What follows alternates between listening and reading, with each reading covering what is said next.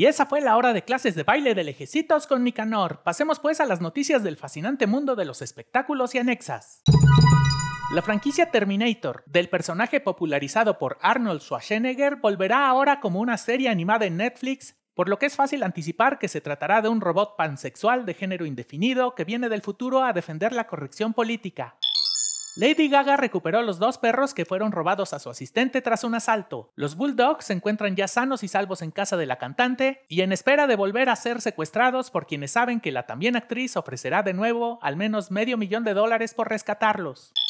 La segunda parte de la cinta Sector 9 ya está confirmada y su director dijo estar trabajando el guion de la entrega que se llamará Sector 10, misma que girará en torno al esfuerzo que un terrícola mutante hará por tratar de justificar por qué prometió regresar en tres años, pero lo hará más de una década después. Ya cálmate, el Mario. Nada, nada, maldito Christopher, a ver con qué nos sale. El director Alejandro González Iñárritu se encuentra filmando una nueva película en la Ciudad de México. Aunque se desconoce la historia que contará, la locación elegida hace suponer que la trama incluirá muerte, corrupción, apagones y posiblemente también falta de agua.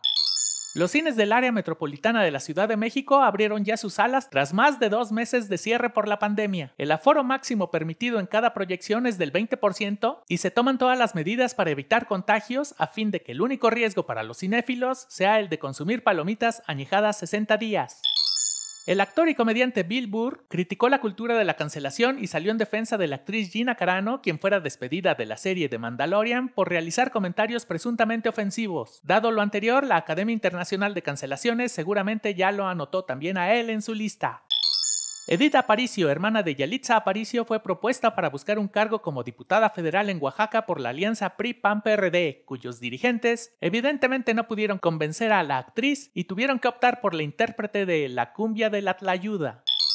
La modelo Kendall Jenner se sumó a la lista de famosos extranjeros con una marca de tequila y ahora sus seguidores podrán probar la bebida 818 que, como ella, no es nada fuera de lo común, pero sí tres veces más caro. Y para terminar, la youtuber Just Stop fue denunciada ante la Fiscalía Capitalina por el delito de pornografía infantil por presuntamente difundir un video explícito donde aparece una menor. De ser hallada culpable, los más de 8 millones de suscriptores en su canal de YouTube tendrán que esperar de 7 a 12 años para que vuelva a subir un video. Llegamos así al final del programa, agradeciendo que lo comenten, lo compartan y tomen previsiones si salen de casa, les recordamos sintonizarnos la próxima semana. A continuación, las clases de ventriloquía con Don Polo. ¿Cómo estuve?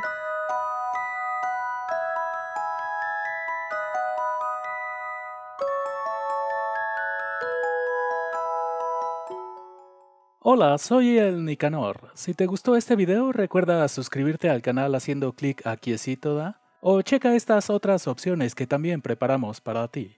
Gracias.